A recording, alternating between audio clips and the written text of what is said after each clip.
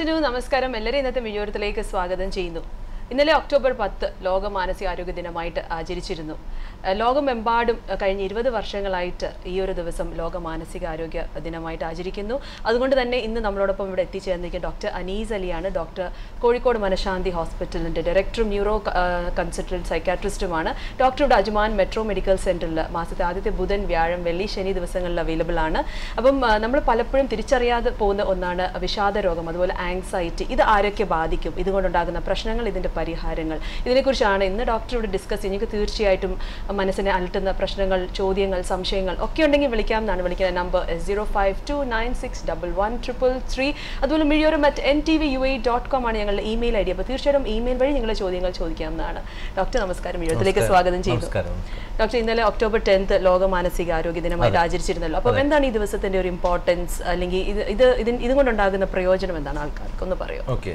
കഴിഞ്ഞ കുറേ കാലങ്ങളായിട്ട് കുറേ വർഷങ്ങളായിട്ട് പത്തിരുപത് വർഷത്തോളമായിട്ട് ലോക മാനസികാരോഗ്യ ദിനം വേൾഡ് മെന്റൽ ഹെൽത്ത് ഡേ ആയിട്ട് നമ്മൾ ഈ ഒക്ടോബർ ടെൻ കൊണ്ടാടാറുണ്ട്.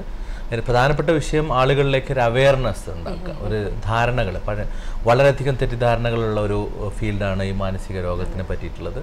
ഏറ്റവും കൂടുതൽ നമ്മൾ മുമ്പും ഇവിടെ ഡിസ്കസ് ചെയ്തിട്ടുണ്ട് ഏറ്റവും കൂടുതൽ തെറ്റിദ്ധരിക്കപ്പെടുന്ന ഒരു ചികിത്സാ രീതിയാണ് മാനസിക ആരോ മീൻ രോഗങ്ങൾ അതിന് പ്രധാന കാരണം ഒരു ടെസ്റ്റ് ചെയ്തിട്ട് കണ്ടുപിടിക്കാൻ പറ്റുന്ന ഒരു രോഗമല്ല എന്നുള്ളത് തന്നെയാണ്. കാരണം മറ്റുള്ള അസുഖങ്ങളാണെങ്കിൽ നമുക്കൊരു ലാബ് ടെസ്റ്റ് ചെയ്തിട്ടോ മറ്റെന്തെങ്കിലും സ്കാനിങ് ചെയ്തിട്ടോ മറ്റുള്ള എം ആർ ഐ ചെയ്തിട്ടോ നമുക്ക് ഐഡന്റിഫൈ ചെയ്യാൻ പറ്റും. പക്ഷേ ഇത് നമുക്ക് ചെയ്യാൻ പറ്റാത്തത് കാരണം. അപ്പോൾ ഈ ലോക മാനസികാരോഗ്യ ദിനത്തിൽ ലോകത്തിന്റെ എല്ലാ ഭാഗങ്ങളിലും പ്രത്യേകിച്ച് സ്ഥാപനങ്ങൾ നടത്തുന്ന എല്ലാ സ്ഥാപനങ്ങളും അവർ ഇതിന്റേതായിട്ടുള്ള ആളുകളെ ജനങ്ങളെ പബ്ലിക്കിനെ വിളിച്ചുകൊണ്ട് ഈ രോഗത്തിനെ പറ്റിയുള്ള തെറ്റിദ്ധാരണകളും അതിനെപ്പറ്റിയുള്ളൊരു ധാരണ പുതിയ കണ്ടുപിടുത്തങ്ങളും പുതിയ ലേറ്റസ്റ്റ് ടെക്നോളജീസിനെ പറ്റിയിട്ടൊക്കെ പറയാറുണ്ട്. ഇന്നലെ ആയിരുന്നു അതിന്റെത്. ഇന്നലെ ഒന്ന് രണ്ട് കാര്യങ്ങളിലൊക്കെ ഞാനും പങ്കെടുത്തിരുന്നു ഇവിടെ വന്നിട്ട് ഇതിന്റെ തീംസ് ഉണ്ട് എല്ലാ വർഷവും? ഉണ്ട് ഉണ്ട്. തീർച്ചയായിട്ടും. ഉണ്ട് ഈ വർഷത്തെ തീം ലിവിംഗ് വിത്ത് സ്കിസോഫർണിയ എന്നാണ്. സ്കിസോഫേണിയ എന്ന് പറഞ്ഞാൽ നമുക്കറിയാം വളരെ പ്രധാനപ്പെട്ടുള്ള ഒരു മാനസിക രോഗങ്ങളിൽപ്പെട്ട ഒന്നാണ്. അതായത് അതിന്റെ മലയാള വേർഡ് പറയുകയാണെങ്കിൽ ചിത്തഭ്രമം ചിത്തഭ്രമം നമുക്ക് മുമ്പ് മണിച്ചിത്തത്താഴിൽ കണ്ടിട്ടില്ല? അങ്ങനെ ഒത്തിരി ഒത്തിരി സിനിമകളുണ്ട്. അതിലുള്ള ആ ഒരു ഒരു അസുഖത്തിന് ആ അതെ അതെ. ആ ഒരു അസുഖത്തിന്റെ ലക്ഷണങ്ങളാണ് അതിൽ കാണിച്ചിരിക്കുന്നത്. അപ്പോൾ ഈ ചിത്തഭ്രമം ഒക്കെ മുമ്പ് കാണുമ്പോൾ ആളുകൾക്കുള്ള ഒരു ധാരണ എന്ന് വെച്ചാൽ ഇതൊരിക്കലും മാറാത്തൊരു രോഗമാണെന്നും ഇതിൽ നിന്ന് നമുക്ക് ഒരിക്കലും നോർമാലിറ്റിയിലേക്ക് വരാൻ പറ്റില്ല എന്നുള്ളൊരു ധാരണ ഉണ്ട് ഇപ്പോഴും ഉണ്ട് ധാരാളം ആളുകളിൽ. പക്ഷേ ഇതിന് ഒത്തിരി മാറ്റങ്ങൾ വന്നിട്ടുണ്ട്. ഇപ്പോൾ പണ്ടത്തെ പോലെയല്ല. ഒത്തിരി നല്ല നല്ല മോളിക്യൂൾസ് മെഡിസിൻസ് വന്നിട്ടുണ്ട്. അത് നല്ലോണം ട്രീറ്റ് ചെയ്തിട്ട് നമുക്ക് ഒരു പരിധി വരെ നമുക്ക് മാറ്റിയെടുക്കാൻ പറ്റും. ചില ആളുകൾക്ക് മാത്രം ചിലപ്പോൾ ലൈഫ് ലോങ് നമ്മൾ മെഡിസിൻ കഴിക്കേണ്ടി വരും. പക്ഷെ എല്ലാവർക്കും അങ്ങനെയല്ല. അങ്ങനെയുള്ള ആളുകൾക്ക് തന്നെ നമ്മൾ മെഡിസിൻ കഴിച്ചാൽ നമുക്ക് അവളെ അവരുടെ ദിനം പ്രതിയുള്ള ജോലിയിൽ ഇടപെടാൻ കഴിയും. അതാണ് ഏറ്റവും പ്രധാനപ്പെട്ട അതെ അതെ. അതെ അതെ. അപ്പൊ പലപ്പോഴും ആളുകൾ നമ്മുടെ അടുത്ത് വരുമ്പോൾ ആകെ മൂഡ് ഔട്ട് ആയിട്ട് ചോദിക്കുന്ന ഒരു ചോദ്യമുണ്ട്. ഇപ്പോൾ ഇതാണ് ചിത്തഭ്രമം അഥവാ സ്കിസോഫേണിയാണെന്നൊക്കെ പറയുമ്പോൾ പല ആളുകളും ചോദിക്കുന്ന ഒരു ചോദ്യമുണ്ട്. അപ്പോൾ ഇനി ജീവിതകാലം മരുന്നയക്കണോ അപ്പം നമ്മൾ ഒരിക്കലും അങ്ങനെ ഒരാളെ നോക്കിയിട്ട് എനിക്ക് അസസ് ചെയ്യാൻ പറ്റത്തില്ല. ഒരിക്കലും ഇയാൾക്ക് ലൈഫ് ലോങ് എടുക്കേണ്ടി വരുമോ എന്നുള്ളത്. പക്ഷേ നമുക്ക് സിംറ്റമാറ്റിക്കലി ബെറ്റർ ആയി കഴിഞ്ഞാൽ സിംറ്റംസ് കുറഞ്ഞു കഴിഞ്ഞാൽ ഓട്ടോമാറ്റിക്കലി നമ്മളിപ്പോൾ ഒരു നാല് മരുന്നുള്ള ഒരാൾക്കാണെങ്കിൽ അത് റെഡ്യൂസ് ചെയ്ത് മൂന്നിലേക്കായി രണ്ടിലേക്കായി ഒന്നിലേക്കൊക്കെ ആക്കി നിർത്താൻ പറ്റുമെന്ന് ശ്രമിക്കും. ചില ആളുകൾക്ക് മെഡിസിൻ റെഡ്യൂസ് ചെയ്യുമ്പോൾ നമുക്ക് അറിയാൻ പറ്റും അവർക്ക് ചില സിംറ്റംസ് രണ്ടാമത് റീ അപ്പിയർ ചെയ്യും രണ്ടാമത് അപ്പിയർ ചെയ്യുമ്പോൾ പിന്നെ നമുക്ക് അതൊരു വാർണിംഗ് മാതിരിയാണ്. ആയിട്ടില്ല നിർത്താനായിട്ടില്ല അപ്പോൾ നമ്മൾ കുറച്ചുകൂടി സമയം വെയിറ്റ് ചെയ്യും അപ്പോൾ ഒരിക്കലും നമുക്കൊരു ഡോക്ടർക്ക് ഒരു പ്രെഡിക്റ്റ് ചെയ്യാൻ പറ്റില്ല ഇത്ര സമയം ഈ അസുഖത്തിന് സമയത്ത് പക്ഷെ അതേസമയം രണ്ടും മൂന്നും കൊല്ലമായിട്ട് നിർത്തുന്ന ആളുകളുണ്ട്. അഞ്ചു കൊല്ലമായിട്ട് മെയിന്റെയിൻ ചെയ്യുന്ന ആളുകളുണ്ട്. അപ്പൊ ഏത് കാറ്റഗറിയിൽ നമ്മൾ വരുന്നുള്ള അറിയില്ല. അത്. ഏർലി ആയിട്ട് നമ്മൾ കണ്ടെത്തുകയാണെങ്കിൽ ഒരു പരിധി ചിലപ്പോൾ നമുക്ക് രണ്ട് മൂന്ന് വർഷത്തിനുള്ളിൽ നിർത്താൻ പറ്റും. നിർത്താൻ പറ്റും. അപ്പോൾ നമ്മൾ ഇതിൽ എപ്പോഴും മനസ്സിലാക്കേണ്ടത് ഒരു പ്രമേഹമോ അല്ലെങ്കിൽ ഒരു ഡയബറ്റിക് അതെ ബി പി ഉള്ള ഹൈപ്പർ ടെൻഷനോ ഒക്കെ ഉള്ള ആളുകളാണെങ്കിൽ അവർക്കും ലൈഫ് ലോങ്ങിൽ മെഡിസിൻ കഴിക്കണം പക്ഷെ എന്നാലും അവർക്ക് ഇത്രത്തോളം ഒരു മൂഡ് ഔട്ട് വരുന്നില്ല. അത് നമുക്ക് ഒഴിവാക്കാൻ പറ്റും. നമ്മൾ ആ ധാരണ കൊണ്ടാണ്. മാനസിക രോഗം എന്നുള്ള ഒരു ധാരണ കൊണ്ടാണ് അത് നമുക്ക് ആ സിറ്റുവേഷൻ അനുസരിച്ചിട്ട് ഒഴിവാക്കാൻ നോക്കാം എന്നുള്ളത് ഓക്കെ അപ്പൊ അതായിരുന്നു ഈ വർഷത്തെ ഒക്ടോബർ ടെൻത്തിനുള്ള തീം. വിത്ത് സ്കീസോഫ്രീനിയ അപ്പൊ നമുക്ക് ഇന്നത്തെ നമ്മുടെ ടോപ്പിക്കിലേക്ക് തിരിച്ചു ഡോക്ടർ വിഷാദ രോഗം അതുപോലെ ആങ്സൈറ്റി ഞാൻ നേരത്തെ പറഞ്ഞു പലപ്പോഴും പലരും തിരിച്ചറിയാതെ പോകുന്ന ഒരു രോഗലക്ഷണമാണ് വിഷാദ രോഗം പലപ്പോഴും പലരും പറഞ്ഞിട്ടുണ്ട് ഇപ്പൊ ഇന്നിപ്പോ ഡിപ്രഷനിലാണ് വളരെ ഡിപ്രസീവ് സ്റ്റേറ്റ് ഓഫ് മൈൻഡ് ആണ്. ഒന്നും ചെയ്യാൻ ഒരു മൂഡില്ല അപ്പൊ ഈ പറയുന്ന എല്ലാവർക്കും ഡിപ്രഷൻ എന്ന് പറയുന്ന രോഗമുണ്ടോ? അല്ലെങ്കിൽ ഇത് അപകട അപകടകരമായിട്ടുള്ള ഒരു രോഗമാണ്? എന്താണ് ഡിപ്രഷൻ എന്ന് പറയുന്നത്? ഡിപ്രഷൻ പല ആളുകളും എനിക്കൊരു ഡിപ്രഷൻ ഉണ്ട്. നമ്മൾ ജസ്റ്റ് യൂഷ്വലി അങ്ങനെ ഒരു സംസാരത്തിൽ പറഞ്ഞു പോകുന്നതിന് നമുക്ക് അങ്ങനെ ഒരു ഡിപ്രഷൻ ആയിട്ടൊന്നും കണക്കാക്കാൻ പറ്റില്ല. ഡിപ്രസ്ഡ് മൂഡ് എന്ന് പറയാം. അത് ചിലപ്പോൾ നമ്മൾ സിറ്റുവേഷൻ ആയിട്ട് ഇപ്പോൾ ഇപ്പോൾ ഫോർ എക്സാമ്പിൾ ഇപ്പോൾ ഷെറിൻ ഇവിടെ നിൽക്കുന്നു. ഇപ്പോൾ നിങ്ങൾ ഓഫീസിൽ ഇവിടെ വർക്ക് ചെയ്യുമ്പോൾ സ്റ്റുഡിയോയിൽ വർക്ക് ചെയ്യുമ്പോൾ പല സിറ്റുവേഷനായിട്ടും നിങ്ങൾ ഫേസ് ചെയ്യേണ്ടി വരും. പല ആളുകൾ പല പ്രോഗ്രാംസ് ചെയ്യുന്നു. അപ്പോൾ ചിലപ്പോൾ എപ്പോഴും ഒരു ഹാപ്പി ഒരു മൂഡിലായിക്കോണമെന്നില്ല ചിലപ്പോൾ നിങ്ങളുടെ അങ്ങോട്ടും ഇങ്ങോട്ടൊക്കെ ചില ഓരോ വേരി വ്യതിയാനങ്ങളുണ്ടാവും. അപ്പോൾ അതിനെ നമുക്ക് ഒരിക്കലും ഡിപ്രഷൻ എന്ന് പറയാൻ പറ്റില്ല. അതിനെ ഡിപ്രസ്ഡ് മൂഡിനെ പറയാൻ പറ്റില്ല. ഈ ഒരു ടെമ്പററി വൈസ് നിങ്ങൾക്കൊരു ഒരു മൂഡ് ഡിപ്രസ്ഡ് ആയി പോയി. ഡിപ്രഷൻ എന്ന് പറഞ്ഞത് നമ്മൾ ഞാൻ പറയുന്ന കുറച്ച് സിംറ്റംസ് ഞാൻ ഇവിടെ പറയാം. ആ സിംറ്റംസ് പതിനഞ്ച് ദിവസമെങ്കിലും നിലനിൽക്കണം.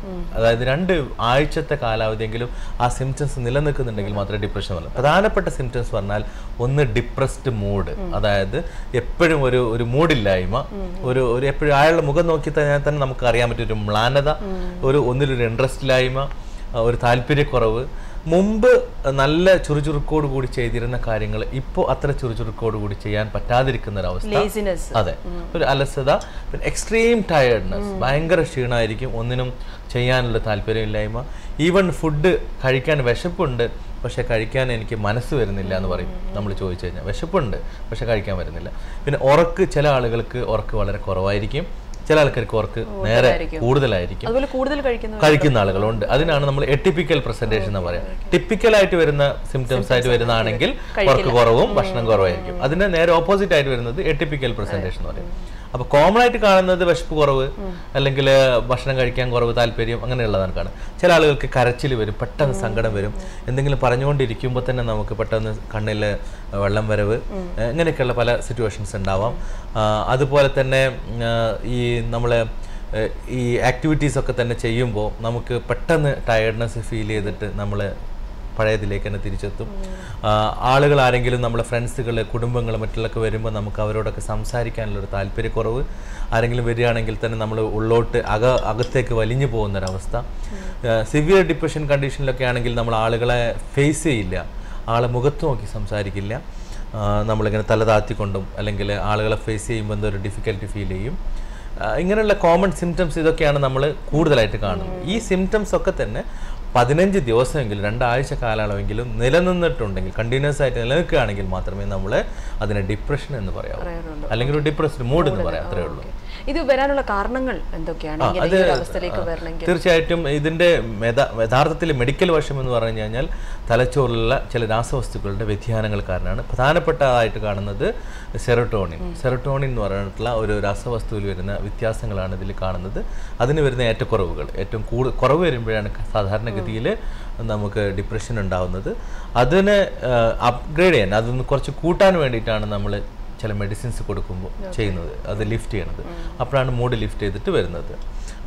അതിന് തന്നെ ചില ആളുകൾക്ക് ഈ ഡിപ്രഷന് കാരണം ഇത് കൂടാതെ സിറ്റുവേഷണൽ ആയിട്ടുള്ള അവസ്ഥകൾ അതായത് സ്ട്രെസ് എന്തെങ്കിലും വന്നു കഴിഞ്ഞാലും ഇങ്ങനെ വരാം. അപ്പോൾ എന്തെങ്കിലും ജോബിനോട് ബന്ധപ്പെട്ടിട്ടോ നമ്മളെ ഫാമിലിയിൽ ഉണ്ടാവുന്ന എന്തെങ്കിലും ആരുടെയെങ്കിലും പെട്ടെന്നുള്ള നമ്മുടെ അടുത്ത് വിട്ടുപോകൽ അങ്ങനെയൊക്കെയുള്ള മരണങ്ങൾ അങ്ങനെ എന്തെങ്കിലും ആക്സിഡൻസ് ഇങ്ങനെയുള്ളത് അല്ലെങ്കിൽ ഫൈനാൻഷ്യൽ ക്രൈസിസ് ഇതൊക്കെ ഉണ്ടാവും. പക്ഷെ പല ആളുകൾക്കും ഒരു തെറ്റിദ്ധാരണ ഉണ്ട് വെറും ഫൈനാൻഷ്യൽ പ്രോബ്ലംസിനെ കൊണ്ട് മാത്രമാണ് ഈ ഡിപ്രഷൻ ഉണ്ടാകുന്നത് എന്നുള്ള തെറ്റിദ്ധാരണ തീർച്ചയായിട്ടും തെറ്റാണ്.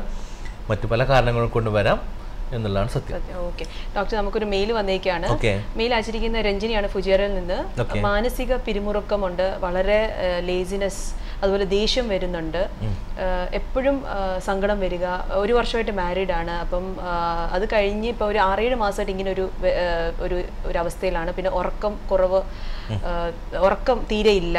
അപ്പം ഇത് ഇത് ഡിപ്രഷന്റെ ഒരു സിംറ്റംസ് ആണോ? അല്ലെങ്കിൽ ഇത് എന്തുകൊണ്ടാണ്? എന്ത് ചെയ്യാൻ പറ്റും ഇതിനെന്നാണ് രഞ്ജിനി ചോദിച്ചിരിക്കുന്നത്. തീർച്ചയായിട്ടും ഇതൊരു ഡിപ്രഷന്റെ ഭാഗം തന്നെയാണ് കാണിക്കുന്നത്. സിംറ്റംസ് പറഞ്ഞ സിംറ്റംസ് അനുസരിച്ചിട്ട് ആ, ഉറക്ക കുറവ് ഈ ഡിപ്രഷന്റെ ഒരു പ്രത്യേകത ഡിപ്രഷന് ഉള്ള ആളുകൾ ഉറക്ക കുറവുള്ളത് അവർ തന്നെ സമ്മതിക്കുമെന്നുള്ളതാണ്. യൂഷ്വലി അവർക്കൊരു ഇൻസൈറ്റ് ഉണ്ടാവും. പക്ഷെ ഇതിന്റെ നേരെ ഓപ്പോസിറ്റ് ഉള്ള ഒരു അവസ്ഥയുണ്ട്. ഉന്മാദം എന്നൊക്കെ പറയുന്നത്. അതിൽ ഉറക്ക കുറവുണ്ട്. പക്ഷെ ആ ഉറക്ക കുറവുള്ളത് രോഗി ഒരിക്കലും നമുക്ക് സമ്മതിച്ചു തരില്ല. എനിക്ക് ഉറക്ക് ഇല്ലെങ്കിലും നീ ഇയാൾക്ക് എന്താ പ്രശ്നം? എന്താ നിന്റെ പ്രശ്നം? എന്നുള്ളതാണ് ചോദിക്കുക. ഭയങ്കര ഹൈപ്പർ എനർജറ്റിക് ആയിരിക്കും അപ്പോൾ ഡിപ്രസ്ഡ് ആയിട്ടുള്ള ആളുകൾ അങ്ങനെ പറയും അവർ സമ്മതിക്കും. അപ്പൊ അതിന്റെ അതിന്റെ ഭാഗം തന്നെയാണ് ആയിരിക്കാം ടയർഡ്നെസ്സും എല്ലാം വരുന്നത്. സാധാരണഗതിയിൽ പലപ്പോഴും ഒരു തെറ്റിദ്ധാരണ നമ്മളൊരു മെഡിസിൻ ഒക്കെ കൊടുത്തു കഴിഞ്ഞാൽ ആളുകൾക്ക് ചെറിയ ക്ഷീണങ്ങളൊക്കെ ഉണ്ടാവും സ്വാഭാവികമായിട്ട്.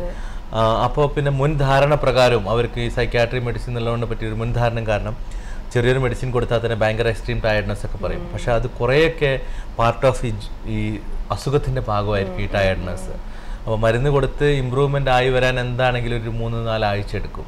ഒരു മരുന്നിന്റെ ആക്ഷൻ അറിയണമെങ്കിൽ നമ്മൾ മിനിമം ഒരു ത്രീ ടു ഫോർ വീക്സ് എടുക്കും എന്നാണ് പറയുന്നത്. അപ്പോൾ ഒന്ന് രണ്ട് ആഴ്ച കഴിയുമ്പോൾ ക്ഷീണങ്ങളൊക്കെ കുറഞ്ഞു വരും. അപ്പോൾ ഇത്രയും പ്രശ്നങ്ങൾ വല്ലാതെ അവർക്ക് ഉണ്ടെങ്കിൽ തീർച്ചയായിട്ടും അവരൊരു സൈക്യാട്രിസ്റ്റിനെ കാണണം. ചെറിയൊരു മെഡിസിൻ കഴിച്ചാൽ തന്നെ അവരുടെ ഈ അസുഖത്തിൽ നല്ല ഇമ്പ്രൂവ്മെന്റ് കാണും. ഒരു രണ്ടാഴ്ച കാലയളവിനുള്ളിൽ തന്നെ അതിന്റെ സിംറ്റംസ് റെഡ്യൂസ് ആയിട്ട് കാണും. പിന്നെ മെഡിസിൻ ചിലപ്പോൾ ഒരു six months to one year എടുക്കേണ്ടി വരും. പലപ്പോഴും നമ്മൾ എസ്പെഷ്യലി നമ്മളെ മലയാളികളുടെ ഒരു പ്രശ്നം. ഇപ്പം ഇന്നും ഞാൻ കുറേ ആളുകളോട് രാവിലെയൊക്കെ കണ്ടപ്പോൾ പറഞ്ഞിട്ടുണ്ട് കുറച്ച് ബെറ്റർ ആയി കഴിഞ്ഞാൽ പിന്നെ നിർത്തും. ഒന്നെങ്കിൽ അല്ലെങ്കിൽ ചെയ്യുന്ന പരിപാടി മരുന്ന് അങ്ങനെ വാങ്ങി കഴിക്കും. ശരിക്കും നിയമപ്രകാരം സൈക്യാട്രി മെഡിസിൻസ് ഒന്നും അങ്ങനെ കണ്ടിന്യൂസ് ആയിട്ട് കഴിക്കാൻ പാടില്ല. കഴിക്കുമ്പോൾ എന്താ ചില ചില മരുന്നുകൾ നിർത്തേണ്ടതായിട്ടുണ്ടാവും. അതായത് സമയത്ത് അത് നിർത്താൻ പറ്റാതെ വരും. അപ്പോൾ അതിന് അഡിക്ഷനൊക്കെ വരും. അത് ശ്രദ്ധിക്കണം വളരെയധികം. ഡോക്ടർ ഈ വിഷാദ രോഗത്തിനെ കുറിച്ചാണല്ലോ സംസാരിക്കുക അപ്പോൾ ഇത് ഏത് പ്രായക്കാരിലാണ് കൂടുതലും കണ്ടുവരുന്നത്? കുട്ടികളിൽ അത് കണ്ടുവരാറുണ്ടോ? ഉണ്ടെങ്കിൽ ഇതിന്റെ ഇതിന്റെ സിംറ്റംസ് മുതിർന്നവരിൽ കണ്ടുവരുന്ന പോലെ തന്നെയാണോ? കുട്ടികളിൽ കാണാറുണ്ട് പക്ഷെ റയറാണ് സിംറ്റംസ് കാണുക കുട്ടികളിൽ കാര്യം ഈ കുട്ടികൾ മറ്റുള്ള ഫ്രണ്ട്സുകളായിട്ടൊക്കെ മിംഗ്ലിങ് കുറയും കൂട്ടുകെട്ടൊക്കെ കുറയും. ഒരു ഒരു ഒരു ഐസൊലേറ്റഡ് ആയിട്ടുള്ള ഒരു ഫീലിംഗ് അവർക്ക് ഉണ്ടാവും പിന്നെ പഠനത്തിലൊക്കെ താല്പര്യക്കുറവ്. അതൊക്കെയാണ് സാധാരണ കുട്ടികൾ കാണുക. കുട്ടികളിൽ സാധാരണ കാണുന്നത് ഡിപ്രഷൻ ഡയറക്റ്റ് ആയിട്ട് വരുന്നത് മറ്റുള്ളവരെ അപേക്ഷിച്ച് കുറവാണ്. പക്ഷേ ഡിപ്രസ്ഡ് സിംറ്റംസ് ഒക്കെ കാണാൻ അതിന് വേറെ എന്തെങ്കിലും കാരണങ്ങളായിരിക്കും. എന്തെങ്കിലും സ്ട്രെസ് ഫാക്ടേഴ്സ് അവിടെ നിന്ന് ഉണ്ടാവും. എസ്പെഷ്യലി നമുക്ക് ഈ ഇപ്പോൾ ഇപ്പോൾ ഈടായിട്ട് വളരെ അതിക്രമിച്ചു വരുന്ന ഒരു കാര്യമാണ് ഈ ലൈംഗികമായിട്ടുള്ള ക്രൂരതകൾ വളരെയധികം. നിങ്ങൾ പത്രത്തിൽ വായിക്കാറുണ്ടാവും ഈ കുട്ടികളെ സംബന്ധിച്ചിട്ട് വളരെയധികം കൂടുന്നുണ്ട്. ഇപ്പോൾ രണ്ട് വയസ്സ് നാല് വയസ്സ് അഞ്ച് വയസ്സൊക്കെ ഉള്ള കുട്ടികളാണ്. അപ്പോൾ അവർക്കൊന്നും സത്യത്തിൽ ഒരു ബേസിക് ആയിട്ടുള്ള സെക്ഷൽ കാര്യങ്ങളെ പറ്റിയിട്ടൊന്നും ഒരു അവയർനെസ് പോലും ഇല്ലാത്ത ഒരു പ്രായമാണെന്ന് ഓർക്കണം. അപ്പോൾ അവരിൽ വരുമ്പോൾ ഉണ്ടാകുന്ന ഈ ഹറാസ്മെന്റ് ശരിക്കും പറഞ്ഞാൽ ഒരു ഒരു ക്രൂവലിസം ആണെന്ന് പറയാമാണെങ്കിൽ അത് അവരുടെ അതിൽ നിന്നൊക്കെ ഉണ്ടാവുന്ന ഒരു പ്രോബ്ലംസ് ഉണ്ടാവും അതിനാണ് പി ടി എസ് ഡി എന്ന് പറയാം. പോസ്റ്റ് ട്രൊമാറ്റിക് സ്ട്രെസ് ഡിസോർഡർ എന്നാണ് പറയാം അപ്പോൾ അങ്ങനെയുള്ള കണ്ടീഷന്റെ ഒക്കെ ഭാഗമായിട്ട് ഡിപ്രസ്ഡ് ആയിട്ടും പല ഒരു കുട്ടികൾ ഒരു വിഭിന്നമായിട്ടുള്ള ക്യാരക്ടേഴ്സും ഒരു ബിഹേവിയർ ചേഞ്ചസ് ഒക്കെ ഒബ്സർവ് ചെയ്യാറുണ്ട്. എന്നാലും ഡിപ്രഷനും കാണാറുണ്ട്. ചില കുട്ടികളുടെ പഠനത്തിലൊക്കെ പിന്നോട്ട് ഇങ്ങനെയൊക്കെ ഉള്ളതുണ്ടാണ്. പക്ഷെ അങ്ങനെ കുട്ടികളിൽ വരുമ്പോൾ ഞങ്ങൾ കുറച്ച് സമയം തന്നെ സ്പെൻഡ് ചെയ്ത് യൂഷ്വലി ഞങ്ങൾ ആദ്യം തന്നെ അത് ഒരു കൗൺസിലേഴ്സിന്റെ അടുത്ത് വിട്ട് അവരുടെ ഡീറ്റെയിൽ ഹിസ്റ്ററി ഇട്ട് കഴിഞ്ഞതിന് ശേഷം മാത്രമേ ഞങ്ങൾ ഡിസിഷനിൽ എത്താറുള്ളൂ. എസ്പെഷ്യലി കുട്ടികളെ കാര്യമായതുകൊണ്ട് നമ്മൾ വലിയ അഡൽട്സ് മാതിരിയല്ല. അവർ ഒരു പ്രോബ്ലംസ് അവർ ഡിസ്ക്ലോസ് ചെയ്യണമെങ്കിൽ തന്നെ നല്ലൊരു റാപ്പോ എസ്റ്റാബ്ലിഷ് ചെയ്യണം ആദ്യം. കുട്ടിയായിട്ട് നല്ലൊരു ക്ലോസ് റിലേറ്റഡ് അപ്പോൾ ഇങ്ങനെ ഒരു ഇൻസിഡന്റ് ഉണ്ടാകുമ്പോൾ കുട്ടി ആകെ ഡിപ്രസ്ഡ് ആയിരിക്കും. അപ്പോൾ ഡിപ്രസ്ഡ് ആകുമ്പോൾ പെട്ടെന്ന് കുറച്ച് ഈസി അല്ല നമുക്ക് ആ കുട്ടിയുടെ കാര്യങ്ങളിലേക്ക് എത്തിപ്പെടാൻ. അപ്പോൾ കുറച്ച് സമയം സ്പെൻഡ് ചെയ്ത് വൺസ് ഡയഗ്നോസിസ് കൺഫേം ആണെങ്കിൽ മാത്രമേ നമ്മൾ മെഡിസിൻസ് സ്റ്റാർട്ട് ചെയ്യാറുള്ളൂ. ഇങ്ങനെയൊക്കെ വരുന്ന കുട്ടികളിൽ നമ്മൾ എപ്പം ട്രീറ്റ്മെന്റ് തുടങ്ങണം? അല്ലെങ്കിൽ എത്ര നാൾ എടുക്കും ഈ ഒരു ട്രീറ്റ്മെന്റ് കാലം എന്ന് പറയുമ്പോൾ ട്രീറ്റ്മെന്റ് മീൻ തുടരാൻ തുടരാൻ അതെ. ഡിപ്പെൻസ് അതിന്റെ ഇന്റൻസിറ്റി അനുസരിച്ച് അതിന്റെ സിവിയറിറ്റി അനുസരിച്ചിരിക്കും. ഇമ്പ്രൂവ്മെന്റ് വരികയാണെങ്കിൽ അതിന്റെ കൂടെ നമ്മൾ ശരിക്കും പറഞ്ഞാൽ മെഡിസിൻ മാത്രം പോരാ. ഇത്തരം കേസുകൾക്ക് അതിന്റെ കൂടെ സൈക്കോതെറാപ്പി കൂടി മസ്റ്റ് ആണ്. ഇനിഷ്യലി തൊട്ട് തന്നെ കൊടുക്കണോ ഡോക്ടർ അത് ഐ മീൻ അതിന്റെ അതിന്റെ അയാൾക്ക് മനസ്സിലാവുന്ന മനസ്സിന്റെ റെസ്റ്റ്ലെസ്നെസ് കാം ആയിട്ടുണ്ടെങ്കിൽ നമുക്ക് സ്റ്റാർട്ട് ചെയ്യാം. അതായത് മനസ്സ് കാം ആണെങ്കിൽ മാത്രമേ നമ്മളൊരു കൗൺസിലിംഗ് പറഞ്ഞാൽ നിങ്ങൾക്ക് എഫക്റ്റീവ് ആവുള്ളൂ. അതർവൈസ് നിങ്ങൾ മനസ്സ് റെസ്റ്റ്ലെസ് ആയിരിക്കുമ്പോൾ നമ്മൾ ഒരിക്കലും കുറേ നിങ്ങളോട് പ്രസംഗിച്ചു കഴിഞ്ഞാൽ നിങ്ങൾ അയാളെന്തോ പറഞ്ഞു എനിക്കൊന്നും കാര്യമായിട്ടൊന്നും മനസ്സിലായില്ല എന്നുള്ളൊരു അവസ്ഥയായിരിക്കും അപ്പോൾ വൺസ് മൈൻഡ് സെറ്റിൽ ആയി കഴിഞ്ഞാൽ നമ്മൾ നോക്കാം. അത് ഡിപ്പെൻസ് നിങ്ങൾക്ക് ചിലപ്പോൾ പെട്ടെന്ന് തന്നെ ചിലപ്പോൾ സെറ്റിൽ ആവും. ചിലപ്പോൾ it will take some another one week അപ്പോൾ അതിന് ശേഷമായിരിക്കും സ്റ്റാർട്ട് ചെയ്യുന്നത്. അത് ഓരോരുത്തരുടെ വേരിയേഷൻ അതുവരെ മരുന്ന് കൊടുത്ത് തീർച്ചയായിട്ടും. തീർച്ചയായിട്ടും. ഡോക്ടർ നമുക്ക് വേറെ ഒരു മെയിൽ വന്നിരിക്കുകയാണ് ആക്ച്വലി സമീറാണ് അബുദാബിയിൽ നിന്ന്. രാത്രിയിൽ കിടക്കാൻ കഴിയുന്നില്ല ഉറക്കം വരുന്നില്ല മറ്റുള്ളവരോട് സംസാരിക്കാൻ തോന്നുന്നില്ല ഒഴിഞ്ഞു മാറി നിൽക്കാൻ തോന്നുന്നു എവിടെയെങ്കിലും ഗ്യാതറിംഗ് സോഷ്യൽ ഗ്യാതറിങ്ങിനൊക്കെ പോകുമ്പോൾ പെട്ടെന്ന് ദേഷ്യം വരുന്നു. ഒന്നിലും ഇൻട്രസ്റ്റ് ഇല്ല. ഡോക്ടറെ ഒന്നും ഇതുവരെ കണ്ടിട്ടില്ല. പോകാൻ ടെൻഷനാണ് ഡോക്ടറെ കാണാൻ. കാരണം കണ്ടു കഴിഞ്ഞാൽ എന്ത് പറയുമെന്ന് അറിയില്ല. മാനസിക രോഗമാണോ എന്ന് അപ്പം ഇതിനെക്കുറിച്ച് ഒന്ന് പറയാൻ എന്ന് ചോദിച്ചിട്ടാണ്. ഇതൊക്കെ ഞാൻ നേരത്തെ പറഞ്ഞ മാതിരി ആ ഉൾധാരണയുണ്ട് നമുക്ക് ഈ മാനസിക രോഗം എന്ന് പറഞ്ഞു കഴിഞ്ഞാൽ മറ്റെന്തോ വലിയൊരു ഒരു മാരക രോഗം അതിനാണ് ആളുകൾ ചിത്രിക്കുന്നത് അതിന്റെ പ്രധാനപ്പെട്ട വിഷയം തന്നെ നമ്മൾ ഈ മാനസിക രോഗം എന്ന് പറയുമ്പോൾ ആളുകളുടെ ധാരണയിൽ വരുന്നത് മുഴുവൻ ഒരു ഭ്രാന്തന്റെ ചിത്രമാണ്. സത്യത്തിൽ അങ്ങനെയൊന്നുമല്ല. ഇപ്പോൾ ഞങ്ങളെപ്പോലെ സൈക്യാട്രിസ്റ്റുകളായിട്ടുള്ള ഞങ്ങളൊക്കെ കാണുന്നതിൽ മെജോറിറ്റി ആളുകളും ഇത്ര മൈൽഡായിട്ടുള്ള ലൈഫ് സ്റ്റൈൽ പ്രോബ്ലംസും ഓരോരുത്തരെ പ്രശ്നങ്ങൾ ചെറിയ ചെറിയ വിഷയങ്ങൾ വന്നിട്ട് അവരുടെ പേഴ്സണൽ ലൈഫിൽ ഉണ്ടാകുന്ന ചില പ്രശ്നങ്ങൾ അല്ലെങ്കിൽ അവരുടെ ജോലി സ്ഥലത്തുണ്ടാവുന്ന അവർക്ക് ജോലി വേണ്ട മാതിരി ചെയ്യാൻ പറ്റാത്ത പ്രശ്നം ചില അഡ്ജസ്റ്റ്മെന്റൽ പ്രോബ്ലംസ് ആണ് കൂടുതലും കാണുന്നത്. ഈ റെസ്റ്റ്ലെസ് ആയിട്ട് വയലന്റ് ആയിട്ട് കൈകാൽ പിടിച്ച് കെട്ടി വരുന്ന കെട്ടിയിട്ട് വരുന്നവരെല്ലാം നമ്മൾ കൂടുതൽ കാണും. അതിനൊരു കാരണം പ്രധാനപ്പെട്ടത് ഒരു കോമഡി സീനിലൊക്കെ നമുക്ക് ഈ ഫിലിമിലും സിനിമയിലൊക്കെ കാണുമ്പോൾ അതിനൊരു കോമഡി എഫക്റ്റ് കിട്ടാൻ വേണ്ടിയിട്ട് ഇങ്ങനത്തെ പല കാര്യങ്ങളും ഞാനൊക്കെ കണ്ടൊരു ഓർക്കുന്നുണ്ട് മുമ്പൊക്കെ അതെ അതെ. പണ്ടൊക്കെ ഞാൻ ഓർക്കുന്നുണ്ട് നമ്മളെ കുതിരവട്ടം പപ്പു അതുമാതിരി ജഗദീഷ് ശ്രീകുമാരൊക്കെ അവരൊക്കെ നല്ല ആ ടൈമിലൊക്കെ ചില സൈക്യാട്രി പേഷ്യൻസിനെ ആക്ട് ചെയ്ത് കാണിക്കുമ്പോൾ കറണ്ട് പിടിച്ചു കറണ്ട് കൊടുത്തു എന്നൊക്കെ പറഞ്ഞിട്ട് ഷോക്ക് കൊടുത്തു എന്നൊക്കെ പറഞ്ഞിട്ട് മേലെ നിന്നൊക്കെ പുക വരുന്ന രംഗമൊക്കെ. അതൊന്നും ശരിക്കും ഒരു പ്രാക്ടിക്കൽ ആയിട്ടുള്ള ഒരു രംഗമേ അല്ല. അങ്ങനെ ഒരിക്കലും ഷോക്ക് കൊടുക്കാന്ന് പറഞ്ഞാൽ ഡയറക്റ്റ് അങ്ങ് കണ്ട് കൊടുത്തിട്ട് ഇങ്ങനെ പുക വരലും പരിപാടിയൊന്നും അല്ല അങ്ങനെയൊന്നുമില്ല ഇപ്പോഴത്തെ ലേറ്റസ്റ്റ് ആയിട്ടുള്ള വെച്ചാൽ ഇൻഡയറക്റ്റ് ആണ് ഷോക്ക് ട്രീറ്റ്മെന്റ് കൊടുക്കുന്നത്. അതൊന്നും ഒരിക്കലും ആ പേഷ്യന്റ് അറിയ പോലും ഇല്ല മനസ്സിലായി? പക്ഷെ എന്നാലും ആളുകൾക്ക് ആ ധാരണ അത് ഉത്ബോധ മനസ്സിൽ എവിടെയോ രജിസ്റ്റർ ചെയ്തിരിക്കുന്നത് കാരണം എപ്പോഴും ആദ്യം വരുമ്പോൾ സ്ട്രൈക്ക് ചെയ്യണം. അതുകൊണ്ടായിരിക്കാം ഇദ്ദേഹത്തിനും അതെ. അത്തരത്തിലൊരു വിമുഖത. പക്ഷേ സ്വാ- സ്വാഭാവികമായിട്ടൊരു സോഷ്യൽ ഇൻഹിബിഷൻ അയാൾക്കുണ്ട്. ആളുകൾ ഒരു സോഷ്യൽ വിഡ്രോവൽ സിംറ്റംസ് ഒക്കെ ഇപ്പോൾ അയാൾക്ക് പറഞ്ഞു. അതൊക്കെ വരുമ്പോൾ ഒരു മൈൽഡ് ഫോമിൽ എന്തായാലും ഡിപ്രഷൻ ഉണ്ട്. ഈ ഡിപ്രഷൻ തന്നെ പല ഗ്രേഡ് ആയിട്ടുണ്ട്. അതിന്റെ ഇന്റൻസിറ്റി അനുസരിച്ചിട്ടാണ് നമ്മൾ ഗ്രേഡ് ചെയ്യുന്നത്. അതിൽ തന്നെ മൈൽഡ് മോഡറേറ്റ് സിവിയർ ഉണ്ട്. അപ്പോൾ അത് എത്രത്തോളം അതിന്റെ ഡെപ്ത് ഉണ്ടെന്നുള്ളത് നമ്മൾ മനസ്സിലാക്കണം. അപ്പോൾ സിവിയർ ഡിപ്രഷനൊക്കെ ആണെങ്കിൽ നമുക്ക് ഞാൻ നേരത്തെ പറഞ്ഞ മാതിരി ഇ സി ടി എന്ന് പറയും ഇലക്ട്രോ കൺവൽസി തെറാപ്പി എന്ന് പറയും. അതായത് ഈ ഷോക്ക് ട്രീറ്റ്മെന്റ് ഒക്കെ one of the drug of choice ആണ്. ഏറ്റവും പ്രധാന ഈസി ആയിട്ട് എത്രയും പെട്ടെന്ന്. നോർമാലിറ്റിയിലേക്ക് വരും. പക്ഷെ ആളുകൾക്ക് തെറ്റിദ്ധാരണ ഉള്ളതുകൊണ്ട് പല സ്ഥലങ്ങളിലും അത് കൊടുക്കാറില്ല. ഈവൺ ഇപ്പം ഞങ്ങളൊക്കെ തന്നെ എന്റെ ഹോസ്പിറ്റലൊക്കെ തന്നെ ഞങ്ങളത് വളരെയധികം കൺസേൺ ഉണ്ടെങ്കിൽ മാത്രമേ കൊടുക്കാറുള്ളൂ. രണ്ട് മൂന്ന് കാരണങ്ങളാണ്. ഒന്ന് ആളുകളുടെ തെറ്റിദ്ധാരണ. മറ്റൊന്ന് ഇതിന് എക്സ്പെൻസീവ് ആണ് നമ്മൾ ഹോസ്പിറ്റലൊക്കെ വെച്ച് നടത്തുമ്പോൾ. വലിയ മൾട്ടി സ്പെഷ്യാലിറ്റി ഹോസ്പിറ്റലിലാവുമ്പോൾ ചിലപ്പോൾ കുറച്ചുകൂടി അതിന്റെ എക്സ്പെൻസ് കുറച്ച് കുറഞ്ഞു എന്ന് വരാം. പക്ഷേ മറ്റു തരത്തിലുള്ള കോസ്റ്റ് ഉണ്ടായിരുന്നു വരും. കാരണം ഇൻഡിവിജ്വൽ ഹോസ്പിറ്റൽ ഇപ്പോൾ എന്റെതൊക്കെ ഒരു സ്പെഷ്യാലിറ്റി ഹോസ്പിറ്റലാണ് അപ്പോൾ വരുമ്പോൾ നമുക്ക് അനസ്തറ്റിസ്റ്റിനൊക്കെ ബോധം കെടുത്താൻ ഇതിനൊക്കെ വേണ്ടിയിട്ടുള്ള ആളുകളെ നമുക്ക് വേറെ വിളിക്കണം. അപ്പോൾ വിളിക്കുമ്പോൾ അദ്ദേഹത്തിന് അങ്ങനെയാണോ എടുക്കുന്നത്? അതെ അതെ അതെ. ഇലക്ട്രോ ഇപ്പൊ ഇപ്പത്തെ ഇ സി ടി കൊടുക്കുന്നത് ഒരിക്കലും പേഷ്യന്റ് അറിയുന്നില്ല. ഡോക്ടർ പറഞ്ഞു നമ്മൾ സിനിമയിലൊക്കെ കണ്ട് നമ്മുടെ മനസ്സിൽ ആ ഒരു. ബോധം തന്നെ ഡയറക്റ്റ് കറണ്ട് ഇപ്പൊ കൊടുക്കുന്നത് നമ്മൾ ശരിക്കും അനസ്തേഷ്യ കൊടുക്കും. അപ്പോൾ അത്ര ഡീപ്പ് ആയിട്ട് കൊടുക്കേണ്ട ആവശ്യമില്ല. ചെറിയ തോതിൽ കൊടുക്കും. പക്ഷെ under the supervision of anaesthetis anaesthetist anaesthetis അനസ്തെറ്റിസ്റ്റിന്റെ സൂപ്പർവിഷനിലാണ് ചെയ്യുന്നത്. അത് തിയേറ്ററിൽ തന്നെയാണ് ചെയ്യാം. അത് ചെയ്ത് കഴിഞ്ഞ ശേഷം ഒരു ഭാഗത്ത് നമ്മൾ കൈയിന്റെ ഒരു ഭാഗത്ത് നമ്മൾ ഈ ബി പിന്റെ കഫ് കെട്ടിയിടും കാരണം ആ ഭാഗത്തേക്ക് ഇതിന്റെ മെഡിസിന്റെ എഫക്റ്റ് വരാതിരിക്കാൻ വേണ്ടി. അതായത് ഈ അനസ്തറ്റിക് ഏജന്റിന്റെ എഫക്റ്റ് വരാതിരിക്കാൻ വേണ്ടി. എന്നിട്ട് നമ്മൾ ഇവിടെയാണ് നമ്മൾ ഈ തലത്ത് ഈ ടെമ്പറൽ ഏരിയയിലാണ് നമ്മളതിന്റെ മോഡ് വെക്കുക. മോഡ് വെച്ചിട്ട് ഫ്രാക്ഷൻ ഓഫ് സെക്കൻഡ്സ് മാത്രമേ നമ്മളത് വെക്കുകയുള്ളൂ. അത് വെച്ച് കഴിഞ്ഞാൽ നമ്മൾ ഈ കൈ കെട്ടിയിരിക്കുന്ന ഈ കൈയിന്റെ ഭാഗത്തേക്കുള്ള ഒരു മൂവ്മെന്റ്സ് നമുക്ക് ഫീൽ ചെയ്യും. കാരണം ഇവിടത്തേക്ക് ആ മരുന്ന് വരാത്തതുകൊണ്ട് മറ്റുള്ളവർക്ക് സെഡേറ്റഡ് ആയതുകൊണ്ട് നമുക്ക് അറിയില്ല അപ്പോൾ ആ മൂവ്മെന്റ്സ് അറിഞ്ഞിട്ടാണ് നമ്മൾ ആ ഒരു ഇ സി ടി എഫക്റ്റീവ് ആണോ ഇല്ലെന്ന് തീരുമാനിക്കുന്നത്? യൂഷ്വലി നമ്മൾ പറയാറുള്ളത് ഒരു പതിനാറ് പതിനെട്ട് അല്ലെങ്കിൽ ഒരു ഇരുപത് വരെയെങ്കിലും നമുക്ക് ഇങ്ങനെയുള്ള ആ ഒരു കൺവെൽഷൻ ഉണ്ടാവണമെന്നാണ് പറയുന്നത്. ഉണ്ടെങ്കിൽ അത് എഫക്റ്റീവ് ഇ സി ടി എന്നാണ് പറയുക അങ്ങനെയുള്ളത് നമ്മൾ ആ ഫ്രാക്ഷൻ ഓഫ് സെക്കൻഡ്സ് മാത്രമേ ഉള്ളൂ. അത് കഴിഞ്ഞ് പേഷ്യന്റിന് ഒന്നും അറിയാൻ സാധിക്കത്തില്ല. പേഷ്യന്റ് അല്പസമയത്തിനുള്ളിൽ തന്നെ നോർമാലിറ്റിയിലേക്ക് വരും. പക്ഷേ പേഷ്യന്റ് ആകെ ഉണ്ടാകുന്ന ഒരു പ്രശ്നം എന്താണെന്ന് വെച്ചാൽ ചില ചില ആളുകളിൽ ഒരു ഒരു കണ്ടിന്യൂസ് ആയിട്ട് കൊടുക്കുകയാണെങ്കിൽ ചിലവർ കൺഫാബുലേഷൻ എന്ന് പറയും. ഒരു ഒരു ചെറിയ മെമ്മറി ഇമ്പയർമെന്റ്. ലോസ് അത് പറഞ്ഞാൽ ടെമ്പററി ആണ് നോട്ട് ഫോർ ലാസ്റ്റിംഗ് ആയിട്ടുള്ളതല്ല. ടെമ്പററി ഇപ്പൊ ഇന്ന് രാവിലെ എന്താ കഴിച്ചതെന്നൊക്കെ ചോദിച്ചാൽ ചിലപ്പോൾ റീപ്രൊഡ്യൂസ് ചെയ്യാൻ ചിലപ്പോൾ റീസെന്റ് മെമ്മറി കുറച്ചൊരു ഇമ്പയർമെന്റ് വരും. അത് മാത്രമേ ഉള്ളൂ. യൂഷ്വലി സാധാരണ ഇ സി ടി ഒക്കെ കൊടുക്കുന്ന ആൾക്കാർക്ക് ഒരു എട്ട് സിറ്റിംഗ് എങ്കിലും കൊടുക്കാറുണ്ട്. ഞാനൊക്കെ പഠിച്ച സ്ഥലങ്ങളിലൊക്കെ ചെയ്യുമ്പോൾ സാധാരണ ഞങ്ങൾ ഒന്ന് ഇടപെട്ടുള്ള ദിവസങ്ങളിലാണ് കൊടുക്കാറ്. പക്ഷെ നല്ല ഇമ്പ്രൂവ്മെന്റ് വരും. ഇപ്പോൾ രണ്ടാഴ്ച കഴിഞ്ഞിട്ട് ഒരു കുട്ടിയുടെ കല്യാണം ഉറപ്പിച്ചിട്ടുണ്ടെങ്കിൽ അതിന് സിവിയർ ഡി ഡിപ്രഷനാണെന്ന് ഡയഗ്നോസ് ചെയ്യുകയും ചെയ്യപ്പെട്ട് കഴിഞ്ഞാൽ പിന്നെ നമ്മൾ മെഡിസിൻ ആയി കിട്ടണമെങ്കിൽ ഭയങ്കര പ്രയാസം തന്നെ ആയിരിക്കും. എന്തായാലും ഒരു മൂന്നാലാഴ്ച എടുക്കും. അങ്ങനെയുള്ള സിറ്റുവേഷനിലൊക്കെ ഇ സി ടി കൊടുക്കുകയാണെങ്കിൽ ചിലപ്പോൾ ആ കല്യാണം പതിനഞ്ച് ദിവസം കഴിഞ്ഞാൽ ചിലപ്പോൾ നടക്കും. അവർക്ക് സുഖ സുന്ദരമായിട്ട് മണവാട്ടിയായിട്ട് ഇറങ്ങി കേസസ് വരുമ്പോൾ ഇതാണ് ഒരു കാരണം. ഇങ്ങനത്തെ കേസസ് ആണ് ഡോക്ടർ കാണാറുള്ളത്. അല്ല ഇങ്ങനത്തെ കേസുകൾ വരാറുണ്ട്. പക്ഷെ എന്നാൽ ആളുകൾക്ക് ധാരണ കുറവായതുകൊണ്ട് ഭയങ്കര പ്രശ്നമാണ്. ഒരു കാര്യം അതിന് എത്രത്തോളം സേഫാന്നുള്ളതിന് ഒരു തെളിവ് പറയാം. പല മെഡിസിനുകളും പ്രഗ്നൻസി പീരീഡിൽ ഞങ്ങൾ അഡ്വൈസ് ചെയ്യുന്നില്ല.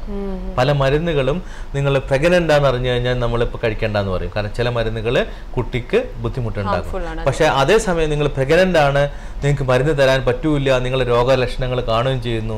അപ്പോൾ വളരെ കോംപ്ലിക്കേഷൻ ആണല്ലോ. അങ്ങനത്തെ സമയത്ത് ഞങ്ങൾ സജസ്റ്റ് ചെയ്യുന്നത് ഈ സി ടി ആണ്. അപ്പോൾ ഹൗ സേഫ് ഇറ്റ് ഈസ് എന്നുള്ളത് നമുക്ക് അസസ് ചെയ്യാവുന്ന അതെ അതെ. പ്രഗ്നൻസി സമയത്തും അത് എടുക്കാമെങ്കിൽ എടുക്കാൻ പറ്റും. അതുപോലെ ഡോക്ടർ ഇപ്പോൾ ഇ സി ടി കൊടുക്കുന്ന ആ ഒരു സമയത്ത് ആ ഒരു ദിവസം തന്നെ ഡിസ്ചാർജ് ചെയ്യാറുണ്ടോ പേഷ്യൻസ് യൂഷ്വലി നമ്മളെ നാട്ടിലൊന്നും അങ്ങനെ ചെയ്യാറില്ല. ചില ഭയങ്കരമായിട്ടുള്ള മെട്രോപൊളിറ്റൻ സിറ്റിയിലൊക്കെ അങ്ങനെയൊക്കെ ചെയ്യുന്നതൊക്കെ കാണുന്നുണ്ട്. പക്ഷെ അതിനോട് കുറച്ചൊക്കെ ഡിഫക്ട്സ് കാരണം ശരിക്കൊക്കെ നമ്മൾ ഒബ്സർവ് ചെയ്യണം. ചെയ്യുന്നതിന് ഒഴിവാക്കുന്നതിന് കുഴപ്പമൊന്നുമില്ല. പക്ഷെ അവരുടെ വീട്ടിലെ അന്തരീക്ഷം എന്താണെന്നുള്ളതൊക്കെ നമ്മൾ നോക്കണം. നമ്മളിപ്പോൾ ഹോസ്പിറ്റലിൽ നിന്ന് കെയർ ചെയ്യുന്ന മാതിരി ഒന്നും ചിലപ്പോൾ വീട്ടിൽ പോയി കഴിഞ്ഞാൽ അത്ര കെയർ ചെയ്യാത്ത എത്രയോ ആളുകളുണ്ട്. അപ്പോൾ ഹോസ്പിറ്റലാകുമ്പോൾ ആളുകൾ കൂടെ അറ്റൻഡേഴ്സും ഒക്കെ പ്രോപ്പറായിട്ടൊക്കെ ഉണ്ടാവും.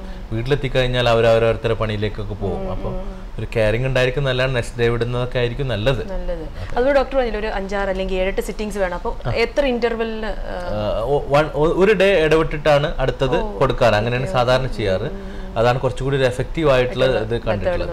ഡോക്ടർ നമുക്ക് ഇനി ഒരു ബ്രേക്കിന് സമയമായിരിക്കാണ്. ഓൾറൈറ്റ് വീഡിയോത്തിൽ ഇനി ഒരു ബ്രേക്ക് ആണ്. ബ്രേക്ക് കഴിഞ്ഞു. എന്ന് കൂടുതൽ നമുക്ക് ഡോക്ടറുടെ വിഷാദ രോഗത്തിനെ കുറിച്ച് ചോദിച്ചറിയാം. So see you all after very short break